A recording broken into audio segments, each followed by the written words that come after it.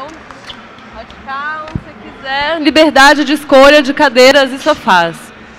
E para entrevistar o Sérgio, arrancar dele todos os detalhes sórdidos sobre todas as coisas da vida dele, Bob Volheim vem para cá, estava aqui no palco, o nosso co-curador de mídias sociais. Bem-vindo, Bob. Obrigado, Bia. Deixa eu começar esse nosso bate-papo aqui, deixando absolutamente claro que o atraso não tem nada a ver com o Sérgio Valente, tem tudo a ver comigo. É... Baiano é atrasado, então não, é legal. Não, não, não. Baiano já leva a fama, que é atrasado. Nesse caso, não foi isso. Fui eu, que sou gaúcho, pontual, filho de alemão, deveria ter, né? E o Google Docs me traiu, eu fiquei atrasado. É... Então, vamos deixar isso bem claro aqui entre nós. Vamos lá, Sérgio. Nós vamos falar de convergência. E quando a gente te fez esse convite, você estava fazendo convergência num outro lugar. E aí me parece que você resolveu virar a convergência em pessoa. É isso? É, conta, conta pra gente rapidamente, só pra gente situar, a tua história de engenheiro que construiu o prédio na Bahia, virou publicitário e agora está indo para a Rede Globo. Só, só dá um apanhado para a gente ter um pouquinho de contexto antes de a gente começar a te fazer as perguntas. Bom, eu. Na realidade, eu dei uma sorte na vida, porque por uma série de circunstâncias. Várias, né? Ainda bem, né? É, né? Como diz minha filha, papai, você é muito sortudo. É... Eu comecei muito cedo. E o fato de ter começado muito cedo, por uma série de circunstâncias, eu pulei um ano, eu acabei fazendo o vestibular com 15 para 16 anos, pela primeira vez.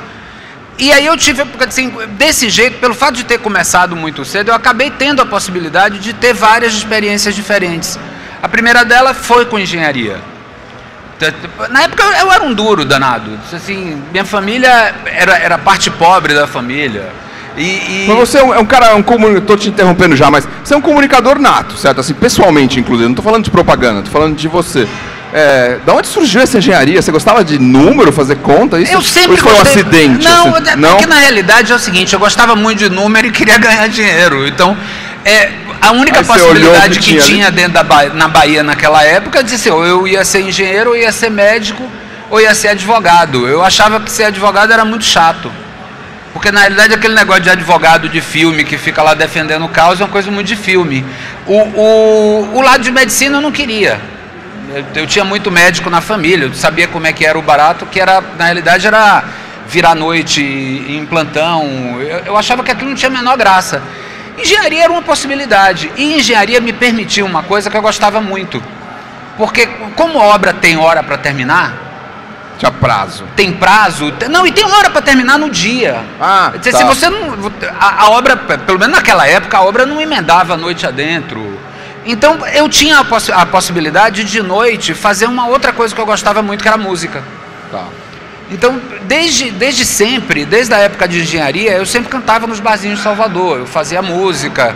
Tem uma porrada desses. Tem alguma desses coisa disso no YouTube? Assim, Sérgio Valente, alguém já botou isso no YouTube? Sérgio Valente cantando num barzinho de Salvador? Não, não, Não, tem. acho que o pessoal não me filmava daquela época, não. Não sei, agora que a gente deu a ideia aqui em público, talvez alguém Mas resgate. hoje, hoje, hoje eu não canto mais nos barzinhos. Acho que naquela época não, mas tinha um barzinho lá em Salvador, que era um barzinho muito, muito frequentado pela, pela, pela inteligência baiana, o pessoal, os pensadores, que chamava Le Fiacre. E era super bacana o Le Fiacre, porque é, segunda-feira cantava eu, terça-feira cantava Daniela Mercury, quarta-feira cantava Luiz Caldas, quinta-feira cantava Jerônimo, sexta Pô, a gente ganhou um publicitário, mas perdeu um- talvez um grande artista, é isso? eu acho que ele perdeu um artista medíocre só. No fundo, a música acabou me levando para propaganda. Pra criação. Pra- Bom, e aí, vamos só continuar, eu te a interrompi, música mas era, a música você começou a trabalhar com engenharia, se formou, com engenharia, fez um prédio que tá engenharia, em pé, você tá falou. em prédio, pé, são dois prédios, um amigo meu comprou apartamento lá, morou lá durante um tempo, Daniela morou lá durante um tempo nesse prédio, chamava Pedra de Brotas. E aí, de repente, Na realidade, eu, eu, eu conheço o Nizam há muito tempo, Tá. Nizam Guanais há muito tempo, desde que eu tinha 14 anos de idade. Uma, uma amizade muito longa. E eu achava bárbaro o que ele fazia. tá. Eu achava que lidar com comunicação era. Eu, eu, eu Ele já estava fazia- em São Paulo nessa época? Não, é- é- na época ele ainda estava na Bahia. A gente Tava fazia muita música junto. Porque tem o outro lado O também. Nizam né? também, também faz. Também Nizam tocou faz- em barzinho? Não. Não, não tocar em barzinho não, mas que ele faz música e faz música muito bem. Ah, é? É um letra? puto- faz letra, faz música. Ah, é? Tem, uma, tem música nossa que, que hoje é que ainda é cantada na Bahia. Então, uma música que é o hino do carnaval da Bahia é eu e Nizam. Nossa, que Aquela do bacana. ah, que bom você chegou, bem-vindo a Salvador. Quem conhece o Carnaval da Bahia conhece essa música. E essa música é, um, é o hino do Carnaval da Bahia e foi uma música feita por mim e por Nizam há 30 anos atrás. Então, eu, eu, eu conhecia muito ele. Tá. Pelo fato de conhecer ele, eu conhecia a propaganda. E eu descobri esse universo de criatividade, esse universo de criatividade aplicado a business. Eu não acho que a gente é criativo. Eu acho que nós somos criativos aplicados a business. O nosso, o nosso trabalho não é criar. Quem tem o trabalho de criar é Caetano Veloso, é Romero Brito. Esses caras são criadores, porque eles vivem na essência da sua criação. Nós somos criatividade aplicada. Certo. Nós somos, nós somos é como utilizar as ferramentas que existem para você seduzir e passar valores de marca para a cabeça do consumidor. Eu acho que talvez pelo fato de sempre pensar, sempre ter en- entendido a comunicação dessa forma, eu nunca entendi a separação que o pessoal fazia de mundo digital para mundo offline. Porque para mim isso é só ferramenta. Não, É a mesma não- coisa. nu- Nunca, nunca foi diferente, eu nunca consegui entender diferente. Na realidade, tem uma música de Milton Nascimento que eu adoro, que é, que é Todo artista tem que ir onde o povo está. Eu acho que a comunicação tem que ir onde o povo está. Se as pessoas estão gamers, a comunicação tem que ser gamer. No dia que se as pessoas estão sociais, a comunicação tem que ser social. Se as pessoas estão analógicas e jornal, as pessoas, a comunicação tem que ser analógica e jornal. Eu acho que nós vamos viver agora, nos próximos anos, eu não sei quanto tempo, quanto tempo vai demorar para isso acontecer, mas eu percebo nitidamente isso como tendência, de que as pessoas vão vai ter uma devoção à privacidade Porque a gente foi e a não exposição. para não Porque foi exatamente o contrário. Assim, o mundo é feito de sístole e diástole. Ele, ele, ele, ele tem um movimento diastólico e depois ele tem um movimento diastólico. Ele experimenta a exposição plena, que é o que acontece hoje. Você posta, você chega no lugar, você quer dizer para todo mundo onde você está, você quer dizer para todo mundo o que você pensa. Se você dizer não pra- disse, parece que Se você nem você foi não lá, diz, né? você não existe. Você nem foi lá, você não. É, é, se é- ninguém twittar que você tá aqui, Não, tipo, você você assinou o Google aquilo. não existe. É, Se você não está no Google, você não existe. Se você não está nas redes sociais, você não existe. E isso é um equívoco social. Porque no fundo, essa, essa hiperexposição, ela vai naturalmente acabar levando o mundo como tendência a uma, a uma devoção à privacidade. E aí nessa devoção de privacidade, como as marcas se comunicam? Ou seja, no fundo, você não tem que olhar para a ferramenta. Se você olha para a ferramenta, você emburrece. Uma vez eu falei isso, numa, uma vez me convidaram para poder. Eu não lembro qual foi o evento. É, Mas era alguma coisa do mundo digital, de, de mundo digital. Eu falei assim, eu não acredito em agência digital. Foi o nosso Social Media Week. Ah, foi Social Media Week. E depois Mas, nós fizemos um segundo debate que era o- o Sérgio. Valente tem razão. Esse era o título do debate, lembra? No lembro ano que você- seguinte, você estava viajando. Mas, gente, como eu tomei porrada quando eu falei aquilo. E, e, no fundo, é isso, gente. Isso aqui, o que- isso aqui é um evento analógico ou um evento digital?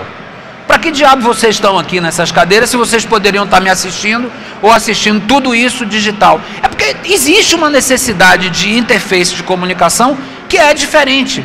E as marcas precisam entender todas essas possibilidades de ferramenta e se valer delas.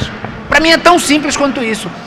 E isso é que eu descobri lá atrás, E aí fazendo foi, foi o engenharia. Nizam que te botou na publicidade na Bahia, é isso? Eu acho que na Ou mais realidade ou menos, o grande exemplo de influenciador. Nizam, o exemplo de Nizam me colocou na publicidade na Bahia. Tá, e Mais do foram- que Nizam. 12 anos, 15 anos de uma carreira de enorme sucesso, é isso? 15 anos deu? Não, mais que isso. Mais que isso? Mais que isso. Mais que isso. Foi. São 12 de DM9, Olha, são de São Paulo são 20 anos. 20 anos São 20 anos de São Paulo. Então Lá do- na Bahia teve 6 anos de publicidade de já. publicidade. Então são 25 anos, vamos dizer, 25, 25 anos de uma carreira extremamente bem sucedida, é, com o próprio Nizam. Começou não com ele, mas logo depois É, mas virou. é que, é que- que, na realidade talvez a parte. Nizam é, Nizam é muito baiano, então eu também sou muito baiano, então dois baianos juntos viram um trio elétrico. E eu acho que o fato da gente da gente ser muito expansivo, parece que minha vida só existe nesse período. Não, não mas é teve- verdade. teve É, até- é, a- a- a- grande, o grande cara que abriu a porta de São Paulo para mim foi o Jacques Leukovics que é, eu agradeço pra caramba ele, não o fato dele ter aberto a porta de propaganda pra mim, mas o fato dele ter aberto a porta de São Paulo um mim. mentor para você, assim. Ele, ele foi uma chave, ele foi uma chave, e foi muito legal ter trabalhado com o Jax, Porque eu pude ter contato com um outro raciocínio de propaganda. Um outro jeito de pensar propaganda de um cara absolutamente bem sucedido que fez coisas antológicas na propaganda brasileira. E, e, ter trabalhado com ele me deu essa visão. Eu, eu dei muita sorte. É, minha filha é. Tem razão. Ela tem razão, fui muito sortudo. E essa a última sorte agora da Rede Globo, conta pra gente o que, que é isso. Eu sei que você não pode falar muito ainda, não começou, mas. O que, que, que, que, aconteceu com você? Eu sou sabe? um grande desempregado agora, porque eu já saí da DM9, hoje é meu último dia na DM9, tá. dia 31, e, e eu não comecei na Globo ainda, né? Então eu, eu sou um ilustre desempregado. Eu acho que lá o que tem é uma grande oportunidade.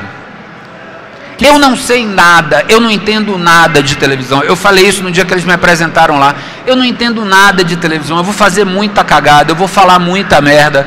Eu, eu vou dizer um monte de coisa que não tem o menor sentido, que não tem a menor lógica. E talvez isso tenha sido a grande sabedoria deles de terem me pego.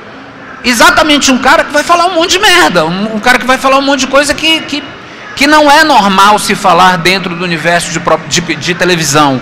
Porque eu venho do universo de comunicação, mas também televisão é comunicação. É, é a mesma não coisa. Não é outra coisa. É, volta no mesmo ponto. Não importa a ferramenta.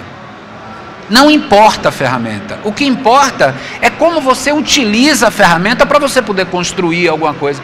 Eu acho que é essa oportunidade que eu vou ter. Só que o bárbaro é que o, o, o que a gente vai fazer lá, vocês vão ver na casa de vocês. E, e, não vai ser num break, vai ser na vida de vocês. A possibilidade de fazer um negócio que influencia a camisa que você usa, o corte do seu cabelo, se você usa um determinado óculos ou outro, se você usa uma determinada calça ou outra, cara, isso é genial. Foi para isso que eu fiz, foi essa, foi, foi isso que eu quis fazer a minha vida inteira. Agora deixa eu te provocar um pouco, né? A gente, é, eu concordo com você é, que, que não tem que ter agência de, de mídia digital, digital, é, e que o, o, o, meio não, não é o, o que faz a coisa, sim, né? a mensagem, a criação. A gente vive um momento anti-McLuhan, que McLuhan dizia que o, o, o meio é a mídia, o meio é a mensagem. Meio é a mensagem. Eu acho que tudo é tudo, cara. Você precisa olhar esse todo e dizer assim, como que eu vou mexer todos esses ingredientes? Agora, tem, tem alguns elementos, vamos, vamos, vamos não, não vamos uh, exacerbar o valor do meio, mas vamos pegar algumas características do meio digital, certo? Que é interatividade, a sociabilidade, o share, o sentido de dividir as coisas. Bob, sentido... o que é meio digital? Tudo. Tudo. Internet. Então, então... Não, mas, não, mas vamos pensar. Você pode ir na internet, vamos pegar genericamente. Você pode sharear coisas, você pode produzir conteúdo, você pode é, dividir conteúdo, né? Você pode é, você ter a sua própria audiência, tudo isso sem nenhum dinheiro e você recebe interatividade o tempo inteiro e cede e recebe interatividade o tempo inteiro, certo? Vamos comparar com a TV. Por uma questão física, uma boa parte dessas coisas não acontece. A produção é centralizada, o canal vem de lá para cá, a volta existe, mas é muito menos, é uma participação que até usa a própria internet, etc, etc. Tanto que isso no mundo inteiro e no Brasil também as audiências de TV vêm caindo porque não é questão de ser pior ou melhor, concordo com você, mas que ela não consegue atender algumas coisas que o ser humano gosta, que são essas coisas sociais, de eu, conversa, de produzir conteúdo. Eu não tenho, eu não tenho é, o YouTube, por exemplo. Eu YouTube... não tenho protocolo nenhum para poder falar, mesmo porque não bate, bate papo tô... aqui, filosófico. Não, não, Filo... não, não estamos falando da tua empresa. Não estamos falando de Globo. Não, não, não. Falando filosoficamente, o que é que eu acredito?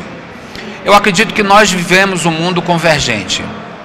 Se nós vivemos um mundo convergente onde a grande demanda da sociedade é a interatividade, esta demanda rege qualquer relação social.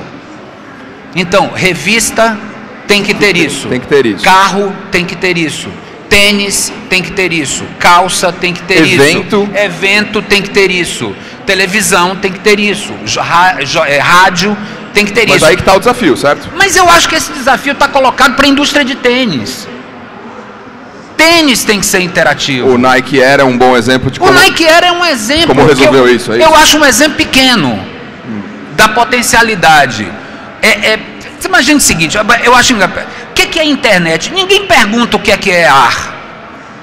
É. Ninguém pergunta o que Geladeira. é ar. Porque, porque ar é uma coisa inerente do ser humano. Se você não respirar, você morre. Então você não fica pensando no ar, você simplesmente respira. Para mim a Internet é assim. é a mesma coisa. Tá. Então eu não fico pensando na internet, porque eu acho que você fica pensando na internet é que nem você ficar pensando no ar. E a televisão é o quê? A é o televisão é, micro-ondas. a televisão é ferramenta, é, fer- é uma ferramenta de comunicação, é uma ferramenta de, de, de conexão do conteúdo com o ser humano. Porque se você, quando você pensa a ferramenta, você- vamos comparar a televisão, uma televisão genérica, não a Rede Globo, uma televisão genérica e o YouTube. O que passa ali é a mesma coisa, certo? Não é, a vídeo. mesma coisa. É vídeo? Não é a não, não, Não? é. Não é. Se na realidade acha, se você olha assim, ah, é vídeo, é, são pessoas em movimento.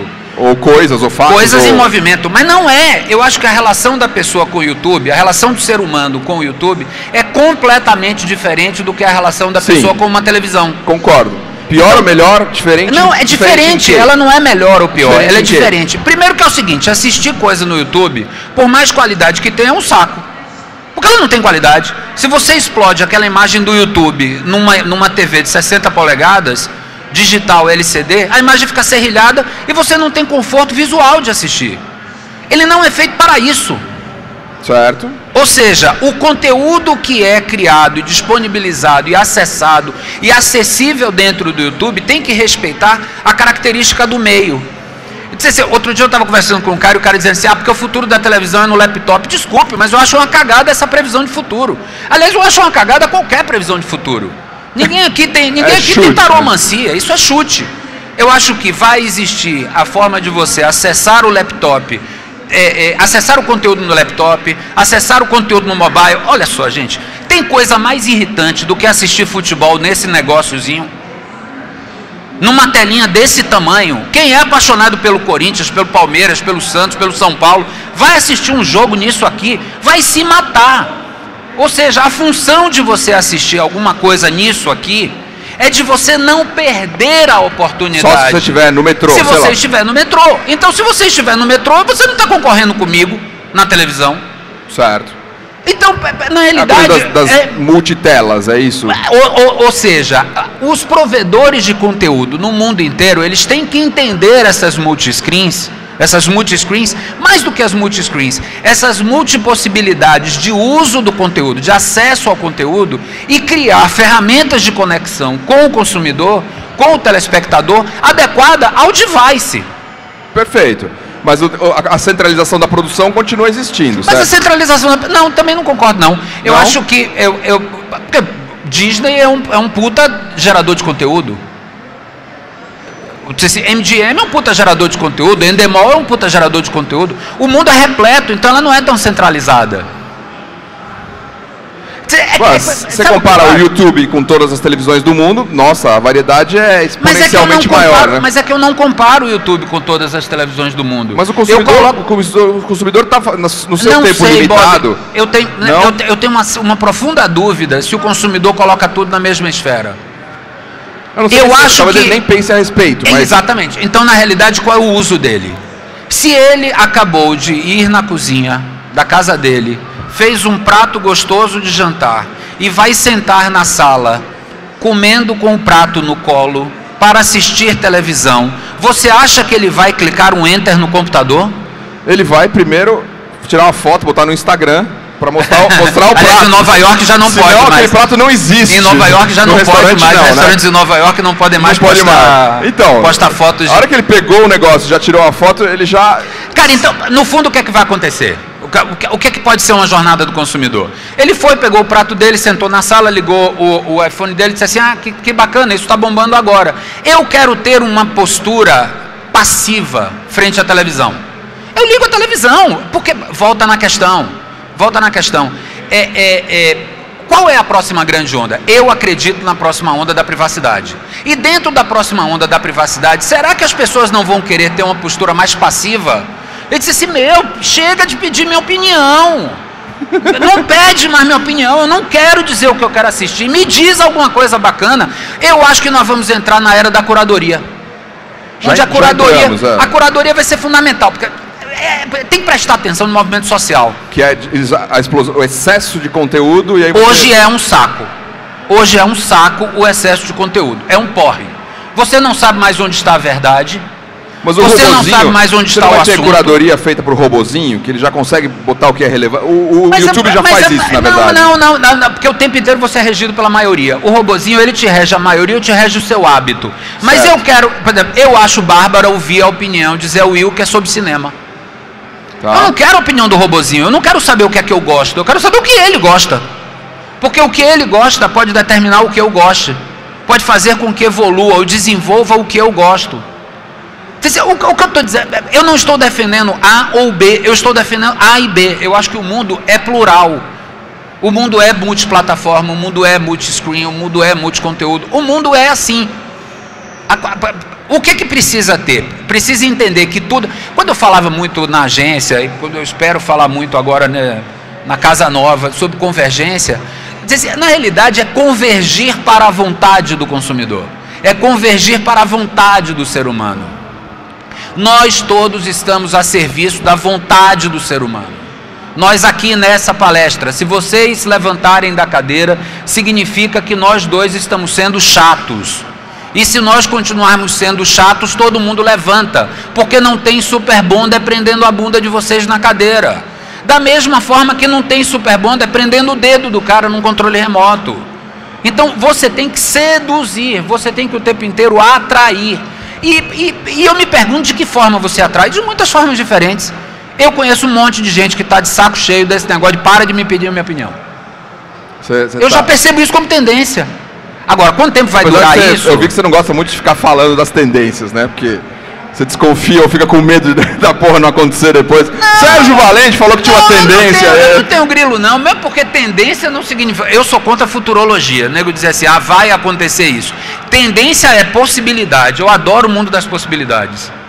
Ah, Eu adoro o mundo das possibilidades. Eu acho que existe uma possibilidade concreta de privacidade.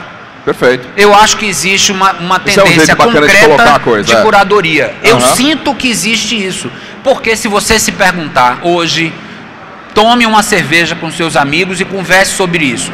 Você vai ver que é verdade.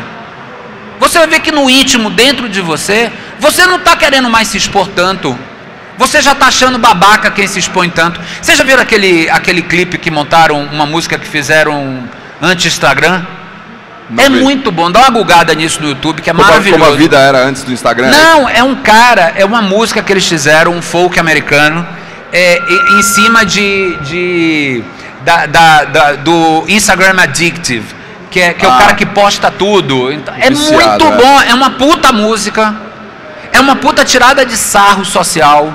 É uma puta tirada de sarro social para quem se expõe o tempo todo. Eu percebo isso como tendência. E você acha que aí, vamos fazer um pouquinho de futurologia. O que, que vai acontecer com as plataformas? Vão diminuir, você acha? Um Facebook, um Instagram, o Google Plus? Eu eh, falei uma vez, uma, Twitter. eu dei uma vez uma palestra, Se, eu se falei você o estiver certo na tua, na tua intuição. Não, eu, eu me pergunto se você está preparado para a morte do Facebook. Uau! Eu acho que o Facebook está. E exatamente pelo fato de estar preparado para a sua morte, é que ele deve ter um bando de gente pensando em como não morrer, em como criar coisas novas, em como criar possibilidades novas, para que não morra, não morra como marca. Não necessariamente como contribuição social. Eu acho que a contribuição social dada pelo Facebook para a humanidade já foi, já é.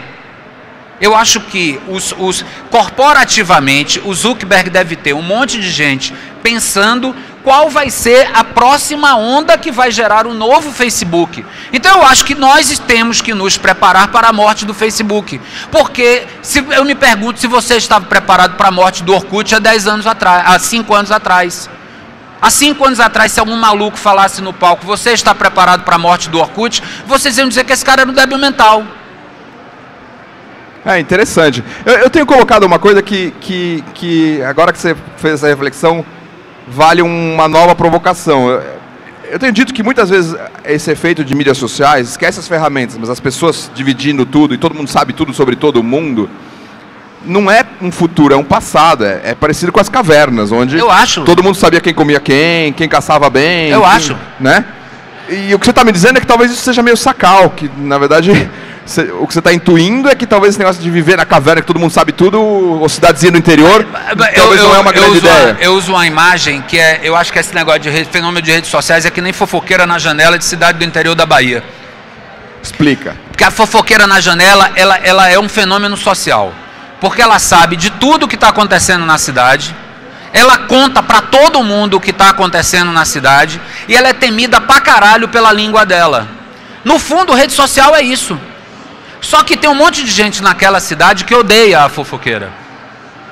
E que começa a não convidar a fofoqueira para um monte de eventos bacanas. Onde ela quer mais privacidade do que a fofoqueira é capaz de controlar a sua vontade.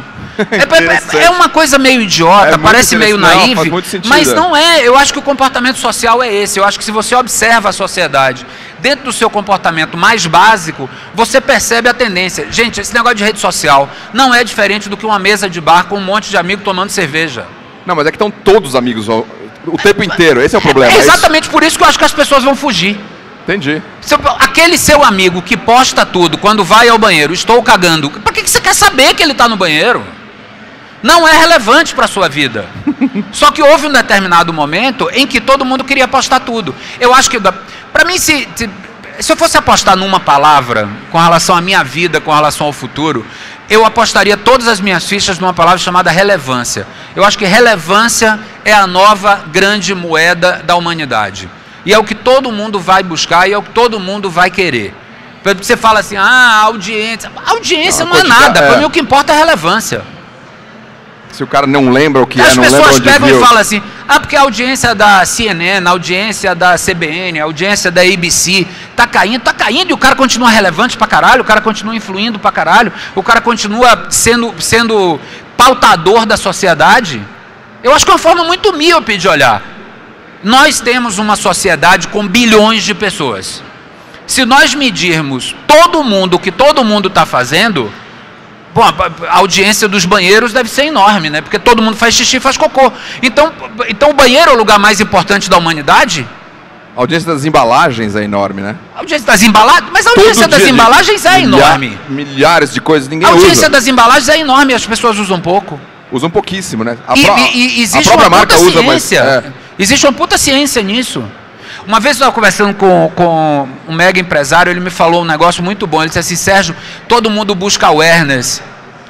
Eu não busco mais awareness porque eu estou na casa de todo mundo. É uma puta verdade. Tudo bem que ele era presidente de uma, de uma, de uma mega empresa que realmente está na casa de todo mundo. Mas ele, ele o fato dele estar tá na casa de todo mundo, ele disse assim: Eu não preciso de awareness. Eu não preciso de lembrança.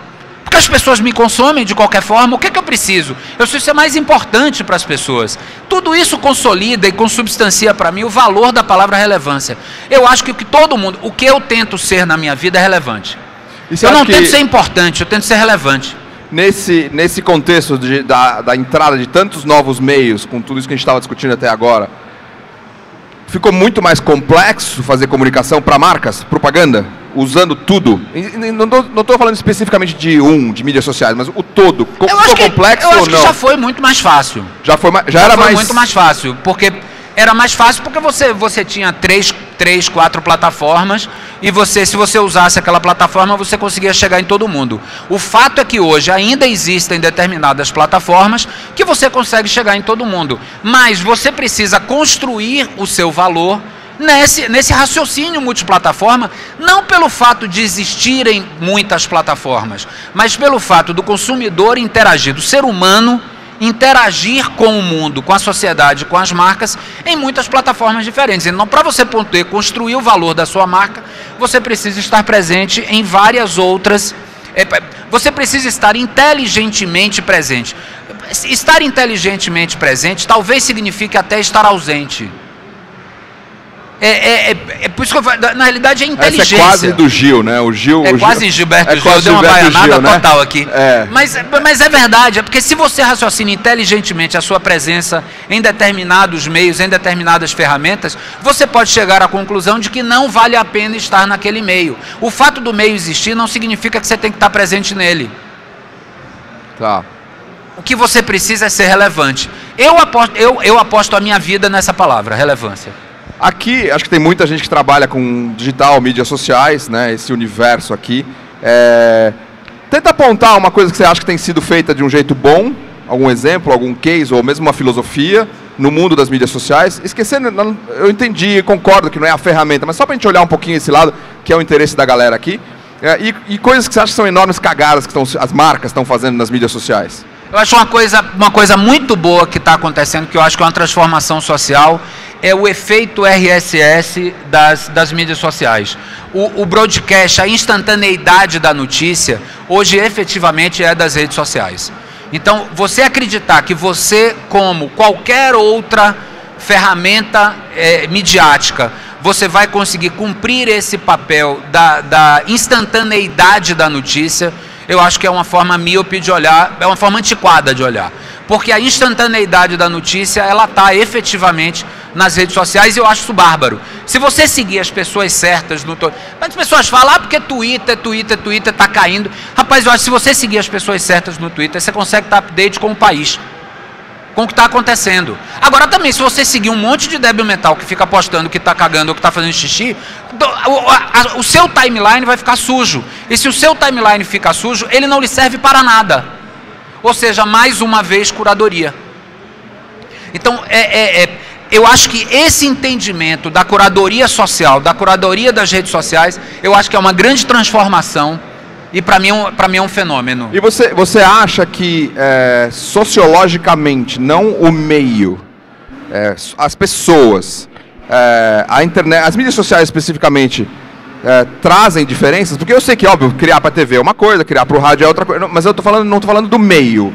Eu tô, não é banner, ou, eu estou falando sociologicamente, porque tem essa coisa social e comunicação e overexposição é diferente criar para esses meios, porque sociologicamente as pessoas estão ali, sei lá, como, como se estivessem na caverna. Todo mundo sabe de tudo, todo mundo espalha Não, tudo. Eu, eu, eu tenho, tem que ter mais cuidado. Eu acho que, eu acho tem que, que é ser diferente. mais verdadeiro. O que, que, que, você precisa ser? Eu acho que é diferente. Você marcas. precisa ser mais conectado com a cabeça do telespectador, com o que o cara está sentindo. É, tem uma outra frase que eu falo muito que as pessoas têm uma postura meio Highlander da vida. Sabe aquele filme Highlander? Que, o, que os imortais ficam cortando a cabeça dos outros, até ficar um imortal só. Puta solidão, filha da puta. Eu acho que a mídia não é desse jeito. O mundo não é assim. O mundo não é Highlander. O mundo é um mundo associativo. O que eu acho que acontece a cada surgimento de uma nova mídia é uma redefinição, uma redeterminação, uma, re, uma reorientação do papel de uma determinada ferramenta. Mas eu vou te citar um, um exemplo que eu, que, eu, que eu uso muito. O mesmo filme visto no cinema, visto no home theater, visto no, no, no home theater da TV a Falando cabo. Um comercial. Não, um filme, um, filme, um filme, filme, filme, filme tá. Hollywood. Tá. O, o filme lá de Hollywood visto no cinema. O seu comportamento com o conteúdo é diferente. Na realidade, você está querendo, naquele momento, se desligar do mundo. Ó, oh, a Rede Globo está ligando aí. Você quer atender? O pior é que é. É, é verdade, quer desse. atender? A gente, eu atrasei tanto, atende aí, fala Não, que você já liga de volta. Pode, pode lógico. Deixa eu pedir para minha colega. Você atende para mim, só para poder eu não ser indelicado. é, lógico. Né? O, o... Quando você está no cinema, você mergulha no conteúdo, você quer se desligar da sociedade, você quer se desligar da realidade, você quer sair do seu mundo. Você não está na cadeira do cinema, você está dentro da tela. Certo. E você está numa postura absolutamente Se você passiva. Se vendo o filme aqui. Se você. Eu vou. Eu vou, vou vamos, vou, vamos, voltar, vamos, vamos, voltando com, com filme tamanhos. TV. Você viu aquele. No cinema, você tem um comportamento com o conteúdo com... diferente. Tá. Se você assiste esse mesmo filme em casa, em casa a, é, controlando a mídia, seja porque você downloadou, seja porque você fez um stream, seja porque você tem um DVD, seja porque você tem um Blu-ray, dane-se. O fato é você ter controle sobre tipo, a mídia. Você faz pause para fazer você xixi. Você faz é pause para fazer xixi. Muda então tu, você é. muda tudo, porque na realidade ali você está dizendo: eu quero mergulhar e sair, mergulhar e sair, mergulhar e sair. Sim, você deixa outros assuntos virem também. Né? Você deixa outros assuntos. Não é que você deixa outros assuntos virem, você diz assim: para que eu quero ver outros assuntos. Certo. Quando você assiste sem controle, quando você assiste um broadcast, um broadcast unidirecional, onde você não tem controle sobre esse conteúdo, o seu comportamento também é outro. Porque você diz assim: se eu sair daqui eu perco, mas se eu levantar daqui eu estou cagando porque é que está passando. Então, o seu comportamento com o mesmo conteúdo é outro. Você Se você aqui... assiste aqui, é outro. Que aí você fica tweetando ao mesmo você tempo. Você fica tweetando. Na televisão você fica tweetando. O é. efeito second screen hoje é absolutamente realidade. Ah, é. Nós precisamos aprender, todo mundo precisa aprender a lidar melhor com isso. com, com o efeito second screen no, no, na absorção do conteúdo. O, o, o fato é que, que no, na, no, no mobile, eu acho que o cara quer. no, ou no computador também. Ou no, computador, no computador. eu acho que no computador, no mobile, o cara quer é um escape, sabe? O cara quer não se sentir sozinho.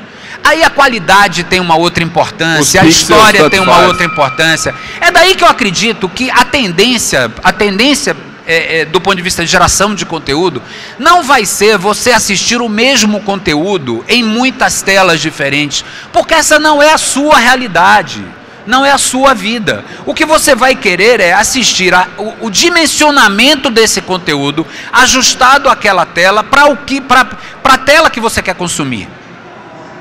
E eu acho que isso, isso é um mundo completamente novo. Nego me pergunta por que, que, eu, por que, que eu topei a, a mudança da minha vida. Eu topei por causa disso, Bob. Eu tô, eu tô me sentindo Aldous Huxley, eu tô me sentindo Colombo. Tá com medo? Há muito. Muito? Muito medo, muito medo. Medo que eu acho que a última vez que eu senti foi em 2005, quando eu assumi a presidência da DM9. Eu- uma frase que eu tenho usado muito com meus amigos lá, disse assim, gente, me ajuda, porque eu vou acelerar, mas eu não quero bater a Ferrari. Eu tô com medo de bater a Ferrari, eu tô com medo de fazer coisa errada, mas eu quero fazer coisa errada. Eu quero descobrir esse mundo novo. É um mundo novo fantástico, é um mundo novo que vai determinar a sua vida. Nessa multiscreenização da, da sociedade.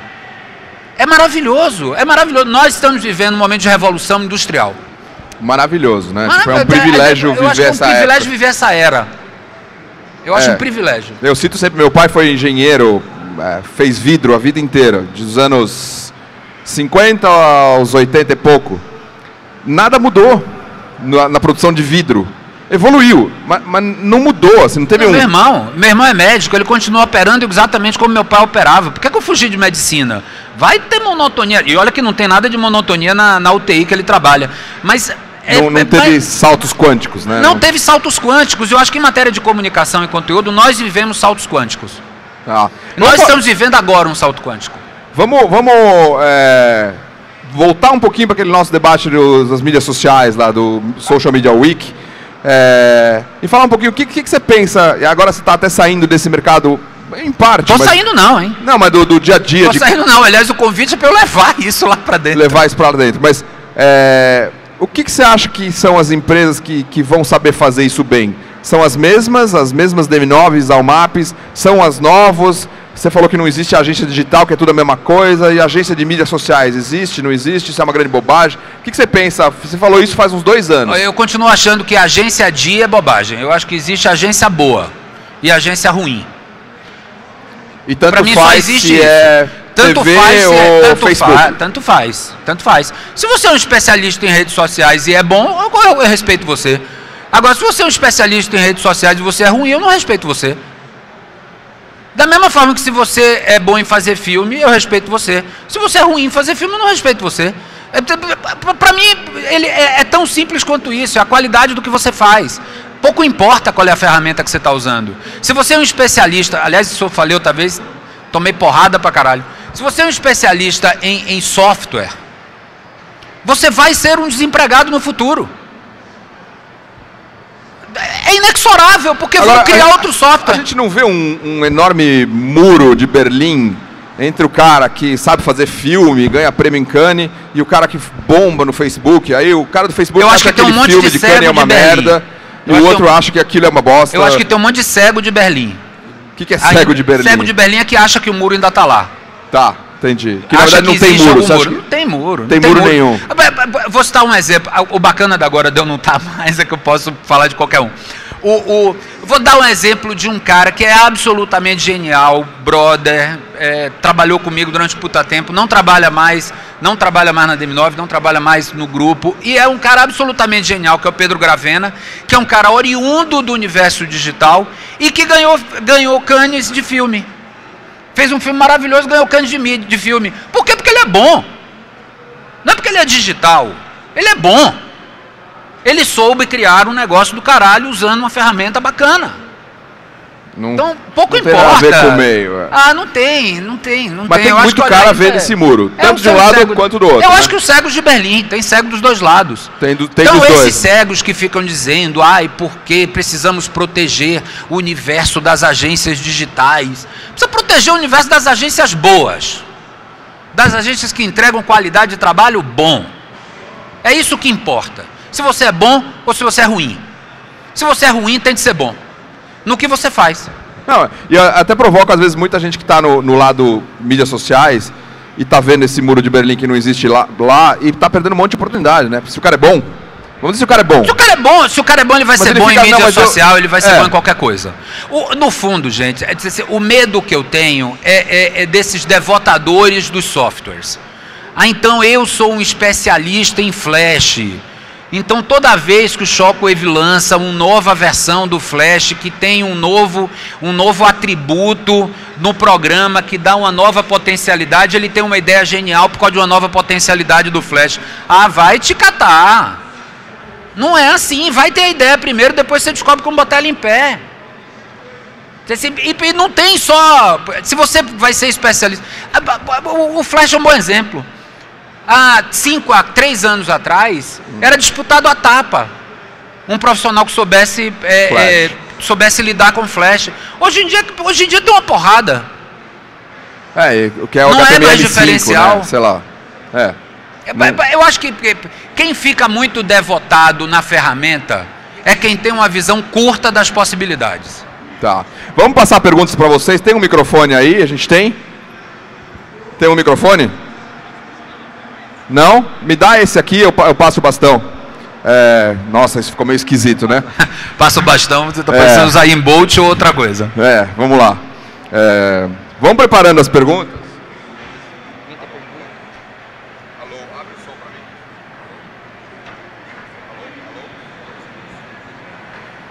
Oi, Sérgio, tudo Oi, bem? fala um pouquinho mais alto, senão não escuto. Tá ouvindo? Mais alto. Melhor? É, meu nome é Bárbara. Você comentou que o usuário, o telespectador, todos os consumidores de mídia, eles não estão mais afim de dizer o que eles querem ouvir, o que eles querem receber como forma de conteúdo. Só que assim, o que eu acho é que isso não é uma situação voluntária, mas sim intuitiva. Por quê? Porque ele pensa que todo mundo vai oferecer para ele o conteúdo que vai ser bom para ele.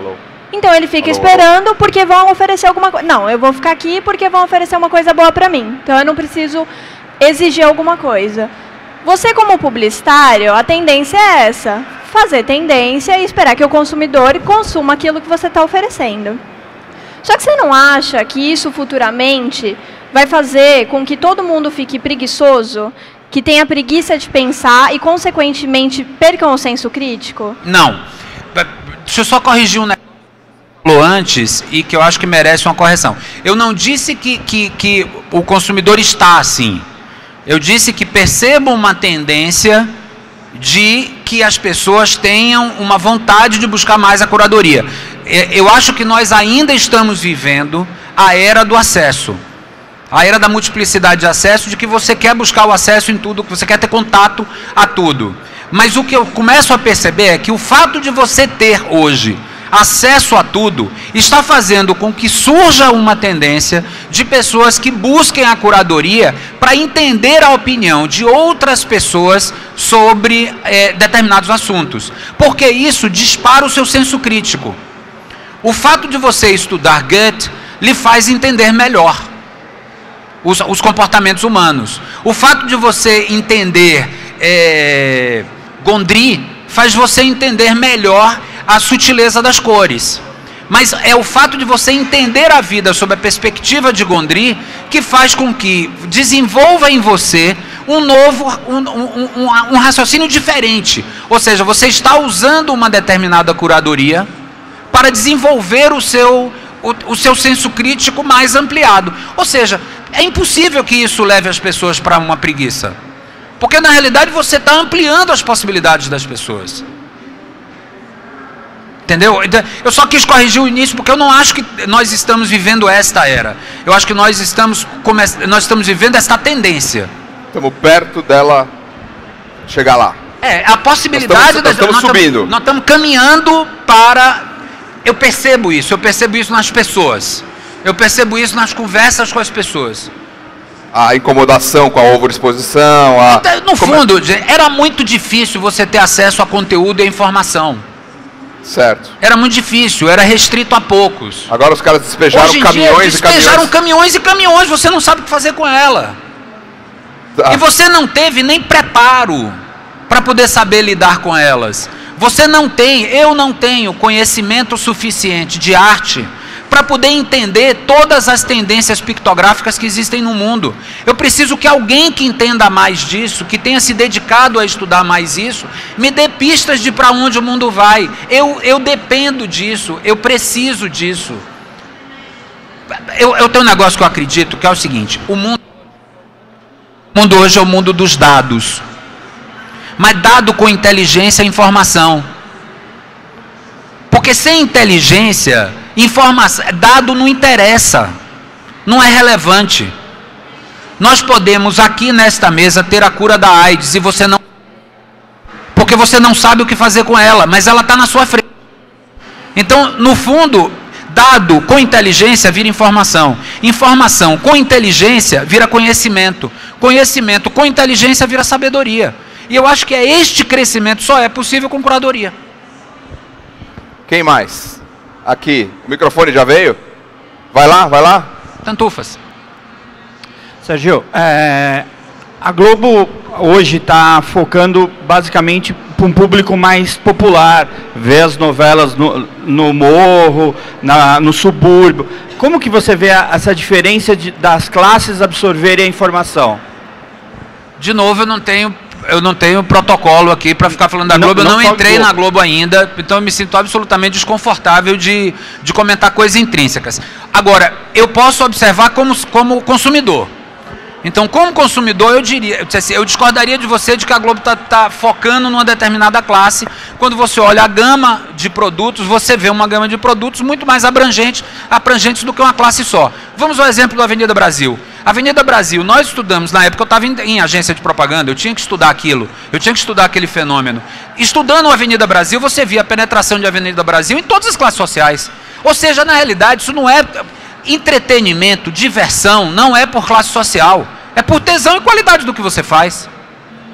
Então, é, é- o Brasil hoje vive um momento onde você tem, é, é, pela, pela boa e velha pirâmide, de, pirâmide social, você tem uma base, uma base de classe C e classe D muito maior com acesso a conteúdo, com acesso à informação. Então é óbvio que você precisa agradar a esta classe também, mas você precisa de alguma forma, com a sua curadoria, contribuir com esse crescimento social, com esse crescimento de demanda, e eu percebo isso em toda a mídia brasileira, que aliás é muito boa. Aliás é muito boa. Próximo aqui. Vamos... Cadê o microfone? Ali. Aquela a, a da- Aqui, ó. que está com a câmera ali, ela Ela já pediu várias Pediu vezes. A pergunta tem que ser boa, hein? Então, é, meu nome é Juliana, né? E eu queria saber de vocês o seguinte: você estava falando de curadoria de conteúdo. É, vocês acham que isso vai ser não só uma tendência com relação à propaganda, com a televisão, com outras mídias, mas também no, no- no dia a dia das pessoas, que nem pegando assim, um exemplo. É, eu tô com a minha página no Facebook e meus amigos só conseguem falar de quar- quarta-feira e de domingo de futebol. E eu não gosto de futebol. Então aí eu vou começar a tirar aquelas, as- aquelas pessoas, mas sem excluir elas da, do meu perfil, assim, que- clicando naquele negócio de não aparecer no, no feed de notícias. No, no rio de conteúdo ali, né? Eu- Os eu- caras eu- tiram do rio. Eu não estou falando em momento nenhum de propaganda. Eu estou falando de sociedade. É, eu acho que a necessidade de curadoria é uma necessidade social. Não é de publicidade. Não é de publicidade nem de, de entretenimento. Vai entrar junto também, Vai não? entrar junto. Tem uma- um, um- eu tenho um, um grande amigo que, que é um dos engenheiros top management do Google lá, em, lá nos Estados Unidos, lá em São Francisco. E ele estava conversando comigo, dizendo que ele estava desenvolvendo. Eu posso falar agora porque isso já tem cinco anos que ele me contou, então não estou cometendo nenhuma é, nenhum furo aqui. Ele estava desenvolvendo um, um- um- um- mecanismo de sofisticação de search engine baseado num problema que ele tem no joelho dele. Porque ele tem um problema no joelho dele E ele disse assim: eu preciso encontrar um jeito do Google dar uma, um refinamento de pesquisa para que eu receba informações de joelho Relevante. que sejam relevantes e referendadas. É, é- é curadoria. E curadoria, ela é razão direta da relevância. Porque um dado sem inteligência não me interessa. Não me interessa. Mas a hora que você mistura gente com inteligência e robozinho, fica, fica uma curadoria muito turbinada, né? Não, mas eu acho inexorável que a gente vai ter Vai ter- robozinho vai ter contribuindo robozinho. com, essa, com essa inteligência. Eu acho burro depender só do robozinho. Porque, gente, matematicamente, estatisticamente, aí vale, vale a, a vantagem de ter feito engenharia. Matematicamente, como são construídos os algoritmos? Os algoritmos de, de, de relevância.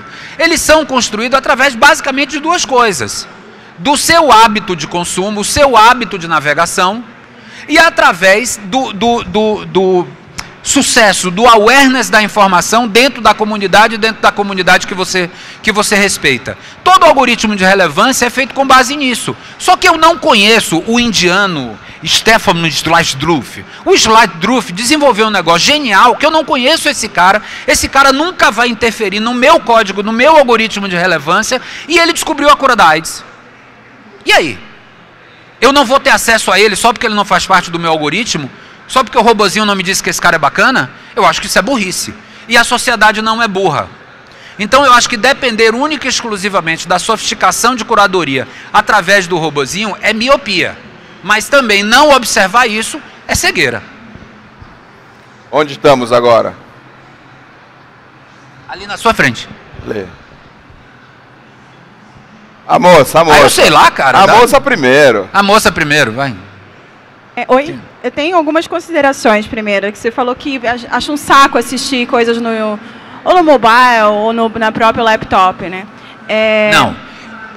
Não é que eu acho um saco. Eu, eu assisto pra caramba. Eu assisto muito coisa em mobile. Eu acho um saco assistir coisa de muita qualidade, coisa que eu gosto, coisa que eu quero ver. Por exemplo, eu adoro Star Trek. E eu gosto de ver porque ela tem uma puta qualidade. Eu acho um saco assistir no mobile. Ou um fã de futebol, ele só vai assistir no mobile se ele não tiver alguma alternativa de entrar num bar e assistir numa televisão. Então não é que eu acho um saco assistir em mobile. Eu acho um saco assistir coisas do caralho em mobile. Não, eu até entendo, até porque assim, eu acho que a pa- parcela da população, como você falou, de pode assistir numa TV de 60 popula- eh, polegadas é bem pequena, né? E Não, não, não, senhora. Tem um monte de barzinho em favela, nas comunidades do Rio de Janeiro, que tem Passa futebol, plasmas de 40, 40 polegadas LCDs e que passam para a comunidade. É que, é, que você, é que a gente sempre tem uma tendência de pensar as 60 polegadas que eu tenho no meu banheiro. Eu não estou falando das 60 polegadas que eu tenho no Pô, meu chique banheiro. tem não, no mentira, banheiro não tenho não, não tenho não. Tem duas. Não, no duas no banheiro, Ave Maria. O, o- mas não é isso que eu estou dizendo. Assim, a gente está vivendo um mundo completamente diferente. Esse papo de você dizer, dizer assim, ah, porque as coisas do caralho só rico tem. Mentira! Já Mentira, foi, porque né? socialmente as pessoas têm. Até, ou você nunca ouviu falar em TV Gato? TV a Gato. É a TV a cabo que tem proli- proliferado em tudo quanto é lugar do Brasil. Tudo bem, eu estou falando, na verdade, assim, a minha família é do, do Piauí, então acredito que no interior do Piauí não tem tantas TVs de 60 polegadas, mesmo nas comunidades, assim. Eu acabei de chegar de Manaus, em Anavilhanas, e tinha uma TV de 60 polegadas, uma Eu não, conheço. É, minha pergunta, na verdade, é o seguinte: é, eu, eu também eu prefiro, se eu tiver que assim, escolher entre conteúdo e qualidade, eu prefiro o conteúdo, mesmo que a qualidade de imagem seja maior. Então, muitas vezes eu deixo de assistir os programas de TV aberta ou a- alguns de TV a cabo para assistir um programa no YouTube ou uma coisa no Netflix que seja o que eu quero assistir especificamente. Eu acho absolutamente normal. É uma questão de escolha da sociedade. Eu acho que o papel da TV aberta é o desafio de fazer com que, de, de conseguir gerar um conteúdo que seja sedutor o suficiente para você.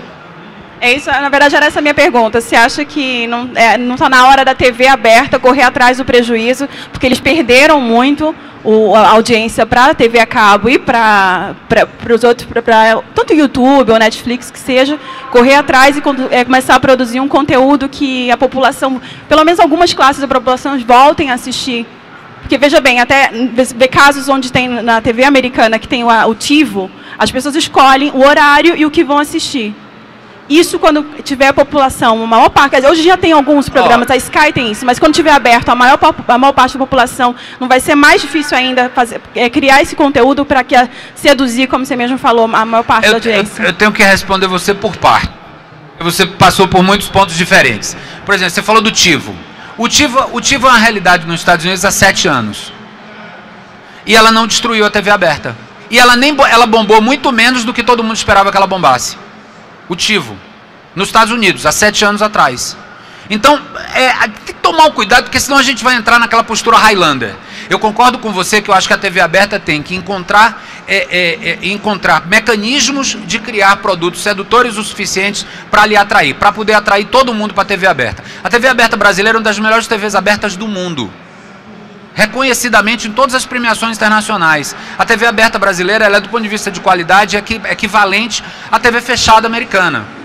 Em matéria de criação de conteúdo, em matéria de geração de produto. Não estou falando de uma casa ou de outra, estou falando de TV aberta como um todo. Aí você diz assim, ah, a TV aberta ela está perdendo audiência para a TV a cabo e para os Netflix da vida. Também é uma informação é, que a gente precisa tomar um pouco de cuidado como, como coloca ela porque também existiu ao longo dos últimos anos uma inserção muito maior de pessoas. Houve uma diminuição. É uma diminuição de share, mas não uma diminuição quantitativa. Na realidade, a TV aberta brasileira ela cresce. Atinge mais gente. Ela atinge força... muito mais pessoas do que atingia três anos atrás, mas há quatro anos atrás. Mais. Mas o Brasil cresce em possibilidades. E quando cresce em possibilidades, outras mídias também, também são ser, elas, elas servem à sociedade. Eu estou falando com visão de publicitário, não, não tô Mas falando com visão chamaram de... lá na Globo para correr atrás, que nem ela falou? Sérgio, corre, corre, corre. Olha, eu lhe garanto que se fosse para correr atrás, eles tinham contratado o Zayn Bolt, que corre muito mais do que eu. Quem mais? Tem pergunta? Te respondi? Eu, eu odeio ficar sem, sem... Deixa eu, enquanto vai é, aqui no meio, mas Deixa eu só fazer uma pergunta, Sérgio, rapidinho. Aquele cara ali, aquele amigo ali, ele já levantou a mão umas quatro, cinco vezes. Mas segura o microfone, deixa eu só fazer uma pergunta rápida, assim, fazer um, um break aqui. Queria dar uma subida, assim. O que, que você acha que é esse momento do Brasil? Político, dos jovens, do empreendedorismo, da mídia, da internet. O que, que, nós, que, que é esse momento do Brasil na tua cabeça, assim? Faz parte dessa revolução quântica que a gente estava falando. Se nós estamos Mas nós vivendo temos, nós temos uma nossa, não temos também? Eu acho que se nós estamos vivendo como sociedade um momento de transformação quântica, eu acho que como Brasil a gente está vivendo uma possibilidade incrível. Já virou carne de vaca, já virou babaquice você ficar Falar falando de Copa é. do Mundo, de Olimpíada. Eu estou falando de 2015, gente. Eu não estou falando de 2017. Eu não estou falando de 2016 ou 2014. Aliás, o que eu ando pensando na minha vida é como que, é que a gente vai fazer em 2017. Dane-se 2016. Até 2016 eu já sei o que a gente vai fazer. Eu não sei o que a gente vai fazer em 2015. Eu não sei o que a gente vai fazer em 2017. E o Brasil vai continuar crescendo em 2015 e 2017. Poucos países no mundo têm, têm, têm a glória de poder dizer que está vivendo há 16 anos de estabilidade econômica. Há 20 anos de estabilidade política. Nós vivemos um momento de Eldorado. Eu acho que esse momento de Eldorado acaba se refletindo economicamente no surgimento de inúmeras possibilidades de empreendedorismo. O efeito do empreendedorismo no Brasil demorou, gente. Já é. Já foi. Se o Brasil já, já devia ter entrado nisso há muito mais tempo, estava vindo para cá caminhando, estava tendo uma palestra da Fiesp ali sobre empreendedorismo. Cara, empreendedorismo é o sucesso, é o que há. Já é um momento. Já é. Quantos de vocês não estão pensando em montar suas próprias empresas e quem, ser um mega gerador de, de Quem, quem quer estar tá pensando em montar empresa ou já tem? Olha só. Olha só. Você veria essa, essa quantidade de mãos levantadas há cinco anos atrás? O cara ia ter vergonha, Isso é um fenômeno né? social. No mínimo você ia ter vergonha. Boa, no mínimo você ia ficar ali. No mínimo você ia ficar assim, meu Deus, será que eu levanto a mão sozinho? Olha a quantidade, nós estamos no Campus Party. E vamos combinar, o Campus Party não é um evento de empreendedorismo. Também. Ele mas... também é, mas ele não é um evento de empreendedorismo. Não, é um e olha a quantidade negócio, de, né? de, empreendedores que levantaram a mão aqui. Nós estamos vivendo um novo momento social. Eu acho que tem que prestar atenção nisso. Vamos lá para a tua pergunta. Oi, é, bom dia Sérgio, meu nome é Rafael Carneiro. Eu acho uma coisa que você separou bem na, no meio da, da sua fala é a ideia do meio, né? Você tem agora você está falando de convergência, tal, você tem vários meios, né? Mas você tem que ter primeiro a ideia e pensar qual é o melhor meio, porque cada meio tem uma maneira de comunicar com, as pessoas e tal. Imagino quando você estava na, na, agência esse tempo todo, né, você tinha um fluxo qualquer, que você tinha uma ideia, e depois você de, determinava quais, são, quais eram os melhores meios para atingir suas metas e, e, o consumidor. Pensando agora no seu próximo desafio, né, mesmo que você não fale exatamente o que, que você vai fazer na Globo, qual a ideia da Globo, é, eu acho que tem um meio novo né, que está por aí, que é a TV digital, a TV interativa, que você meio que junta né, a TV com, com algumas coisas da, da internet. Então, eu queria saber qual é o seu pensamento, assim, mesmo que não seja o que você vai fazer ou a ideia da, da Globo, mas o que, que você pensa desse meio, o que, que pode fazer, o que, que, Aí que, é que pode ajudar para justa. Puta saia justa. Saia justa total. É, mas Ele- olha, eu não tenho protocolo para falar em nome da Rede Globo. Eu não sou da Rede Globo ainda. Tá? Eu sou um desempregado. Isso pode atrapalhar a vida dele enormemente, que Eu pode um nunca vir a ser. Se falar uma bobagem, você nunca vai Se eu falar ser da uma Rede bobagem, eu nunca vou ser. Então, por enquanto, Então, como desempregado Seja que sou, contido, vai, tudo bem. É, o que eu te diria é o seguinte: é, é, é, a TV digital é uma enorme possibilidade. Eu acho que, inclusive, é uma enorme possibilidade de reinvenção da TV aberta. É, é, eu, eu me pego, eu não tenho nenhuma informação, nenhum dado para isso, tá? Mas eu me pergunto quantas pessoas não têm TV a cabo nas suas casas para poder assistir com qualidade bacana a TV aberta brasileira. Tô falando só da Globo, não. Tô falando de tudo. De tudo, é. Eu me pergunto quantas pessoas, cara, porque a transmissão, a qualidade da transmissão de sinal no Brasil, ela não é tão boa. Eu não sei se você assiste TV aberta na sua casa sem ser em cabo, mas por acaso eu tenho uma casa é, é, no interior que, que a, a- a- eu enchi o saco, eu tirei a Sky, eu até voltei a Sky porque era a única possibilidade. Mas o, o, o- eu não conseguia buscar, porque era. Eu, eu- há anos eu não sabia o que era imagem fantasma. Aquela imagem duplicada. E a TV digital, ela vai eliminar essa, essa dificuldade. E na hora que ela eliminar essa dificuldade, um monte de gente que buscava a TV a cabo, a, assina- a TV por assinatura, esquece TV a cabo, ela buscava a assinatura, a TV por assinatura para poder ter uma boa qualidade de TV, de TV aberta, eu acho que a tendência é de que isso mude. E a TV digital, ela permite uma série de valores novos de comunicação que a TV unidirecional não permite, embora a comunicação nunca seja mais, né? unidirecional. É. Porque você sempre pode interferir através de um telefone, através de uma carta, através de um e-mail, através de várias formas de você se comunicar com o gerador de conteúdo. Mas o fato é que através da TV digital você vai ter uma instantaneidade da resposta. E um Eu acho que maior, tudo né? isso tem uma tem- isso tudo isso mostra uma possibilidade de reinvenção do meio. E eu acho que vai ser um tesão estudar isso. Você vai mudar Viver pro isso, eu Rio? não sei o que eu vou fazer. Você vai morar no Rio? Eu vou morar muito na ponte aérea, a base é no Rio. Eu vou Ah, ficar baseado Mas no vai fazer Rio. uma casa no Rio. Eu vou ter uma casa no Rio. Eu não quero morar de hotel, acho que morar de hotel é um saco. Então eu vou ter uma casa Leva a Rio. família, essa filha inteligente que acho que É, você tem muita eu sorte. costumo- eu- ela não fala que eu tenho muita sorte, ela fala, papai, você é muito sortudo. Eu adoro que ela, ela- essa palavra que ela usa. Eu acho que, no fundo. Ela vai junto. Não, ela, ela no primeiro ano ela vai ficar aqui, porque escola, tudo. Eu vou ficar muito na ponte aérea no início. Mas é, é bárbaro isso, porque a Globo tem tudo quanto é lugar. Em qualquer lugar eu posso estar trabalhando, em qualquer lugar eu posso estar online. Tem o pessoal da, da, da comunicação aqui de São Paulo, que, que é bárbaro. Eu vou poder estar aqui, estar no Rio, estar em qualquer lugar onde seja necessário. Isso é genial. Agora a base, a base mesmo vai ser Rio. Quem mais tem pergunta aí? Lá no fundo, depois tem um aqui na frente. Como nós estamos de tempo? Thaís, como estamos? Cinco? Seis? Uh, seis. Manda bala. Manda Bom bala, dia, vai. bom dia Bob, bom dia Sérgio. É, eu queria juntar aqui três coisas que foram faladas agora durante esse papo. Começar com essa a inteligência de business, tipo a, a- a criatividade aplicada a, a negócio, a relevância de conteúdo e a coisa do empreendedorismo. Tipo no- nesses últimos dois, três dias de Campus Party, a palavra de ordem do palco de mídias sociais é relevância.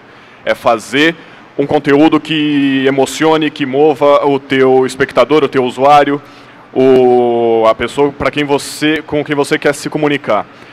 E nesses últimos anos, uma tendência muito forte da internet é os, a- o que os criadores de conteúdo estão se profissionalizando muito. O, o cara que era um blogueiro, que abriu um blogueiro por diversão 5, 6 anos atrás, hoje ele está vendendo mídia, ele faz conteúdo paga o relevante. E eu queria juntar isso com a questão da curadoria. Vocês acham que é uma tendência que, na verdade, não só as emissoras, os grandes órgãos de mídia e as agências de publicidade desenvolvam essa curadoria, esse senso crítico, mas também o usuário, também o criador de conteúdo independente, e que isso vire uma espiral, na verdade, de, de um aumento da qualidade para sempre, assim, e nós todos estejamos correndo atrás, né? tanto nós da publicidade, o pessoal de emissoras e o próprio usuário estimule um, um, uma melhora constante do, do conteúdo? Ó, eu acho assim, eu acho que se... Vai lá, vai lá. Eu acho que, que se a agência de propaganda quiser fazer essa curadoria, vai ser uma cagada. Porque essa não é a finalidade de uma agência de propaganda. Não é a função de uma agência de propaganda. Eu acho que essa curadoria, ela, ela naturalmente virá da, da, da, da, inteligência de conteúdo, da inteligência de informação. Ela naturalmente virá disso.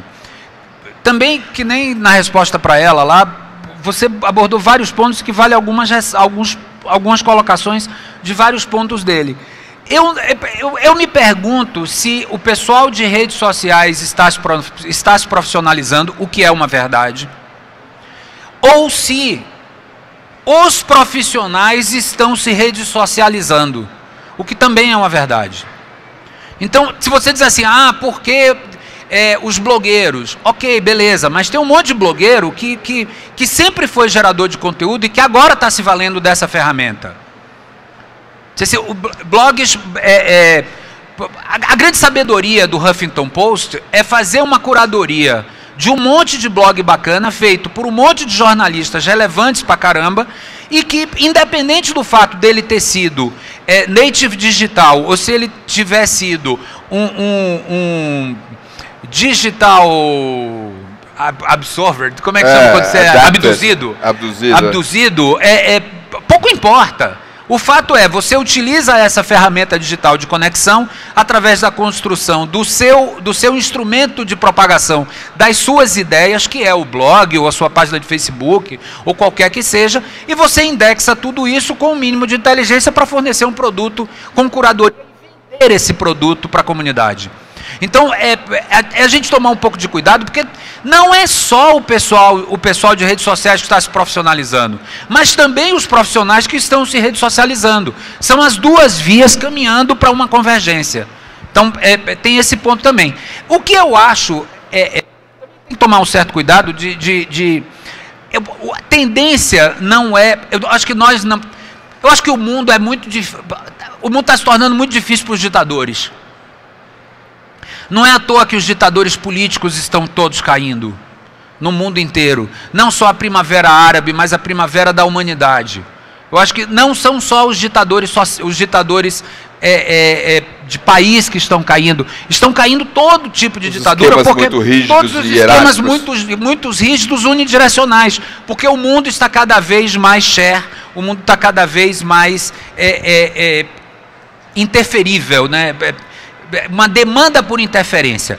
O que eu acho da curadoria é uma tendência de existência da curadoria, mas não uma tendência de transformação para a curadoria. Porque a curadoria só, a gente, é muito burra. Eu quero a minha opinião. Você estava falando do, do, dos seus amigos que lhe seguem no Facebook. Por que, que seus amigos lhe seguem no Facebook? É porque você tem o um mínimo de relevância para eles.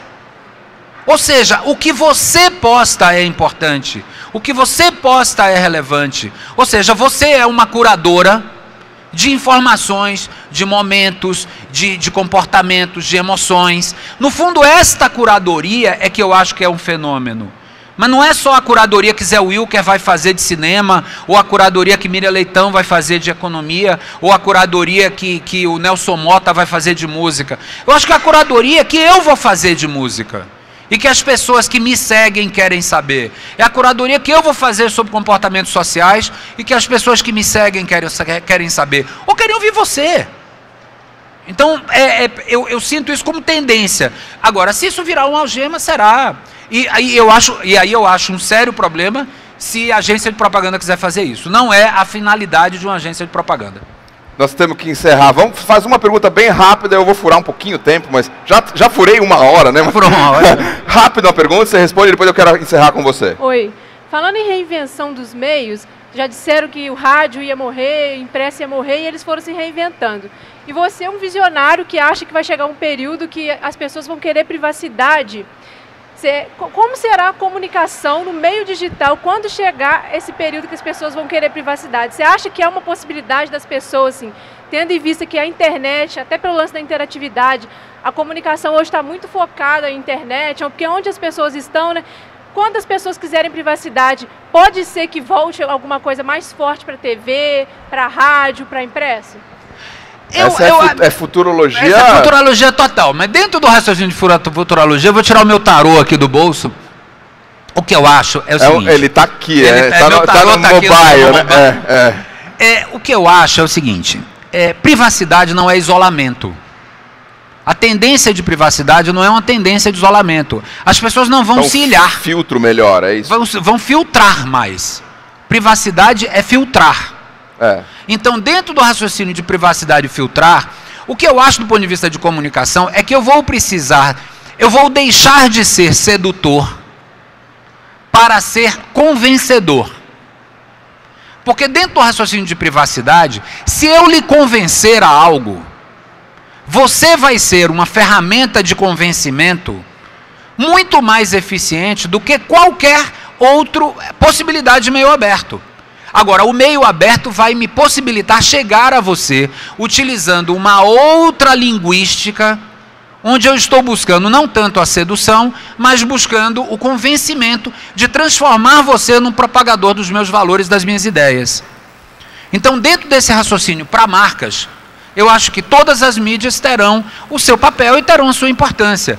É, é, é, achar que rádio morreu é, é, é, é mais uma vez a palavra que eu usei muito, que é miopia.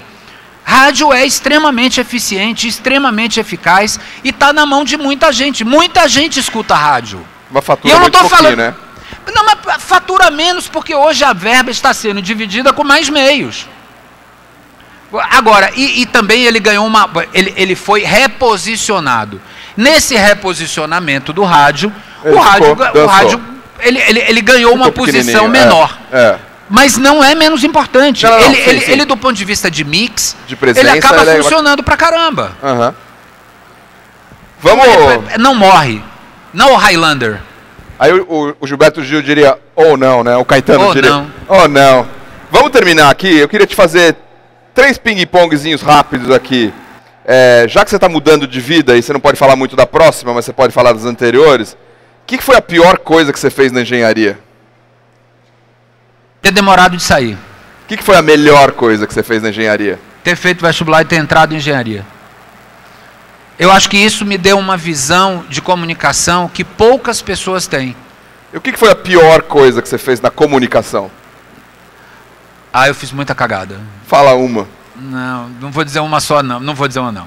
Eu fiz muita cagada. Fiz muita cagada por inexperiência, fiz muita cagada por. Tem uma homérica que você possa contar, que já passou tanto tempo, você saiu, Puta, Bob, tem uma, mas eu não quero lembrar, não, porque não? Se, eu lembrar. Porque é o seguinte, toda vez que eu lembro essa porra, demora para todo mundo esquecer. É uma... e qual foi a coisa mais foda que você fez na publicidade? Ai, cara, ter passado esses 18 anos na DM9 foi a melhor coisa que eu fiz na minha vida. O Nizano ficou muito puto quando você falou que você ia sair. Rapaz, a gente é muito amigo. A gente é muito amigo. É, é, então, é óbvio que quando dois caras que são muito amigos estão acostumados Bom. a viver juntos a viver objetivamente juntos diariamente há 18 anos, a, a, a, conviver há 30 anos. Eu sou amigo dele há 30 anos. Então é óbvio que e não dois é uma. Baianos, né? E dois baianos. Eu, assim, eu sou explosivo pra caramba, ele também. Houve momentos de eu te amo, momentos de eu te odeio, momentos de choro, momentos de riso. o que eu acho que é bacana é, é, é o seguinte: é, é, nós temos uma amizade que é muito maior e que se mostrou muito maior até do que o próprio rompimento profissional. Que bom. E se a gente se encontrar aqui na Campus Party 2023, você vai ter 10 anos de Rede Globo, talvez? O que, que você gostaria que a gente tivesse, se eu, se eu tivesse essa pergunta, o que, que foi a coisa mais foda? Eu sei que é futurologia pura. O que, que você quer fazer lá, cara? Puta, meu, Filosoficamente eu quero, falando. Né? Eu quero, eu quero contribuir com a possibilidade dessa marca e dessa companhia interferir com o país e com as pessoas, contribuir com, com, a, com o crescimento do país e das pessoas. É isso aí. Eu acho Bom, que a Globo contribui pra caralho, eu quero contribuir com isso. Você vê que você tem um papel ali a adicionar no que ela já fez até hoje. Eu quero, eu quero, você você falou em 2023, eu quero olhar em 2023, olhar para os 10 anos passados e dizer, eu, eu deixei um legado, eu fiz algo relevante. Eu fiz diferença. Eu fiz diferença. Muito bem. Esse é o Sérgio Valente que faz diferença, né? Obrigado. Valeu, Sérgio. Obrigado. Foi ótimo. Desculpa mais uma vez o meu atraso. Não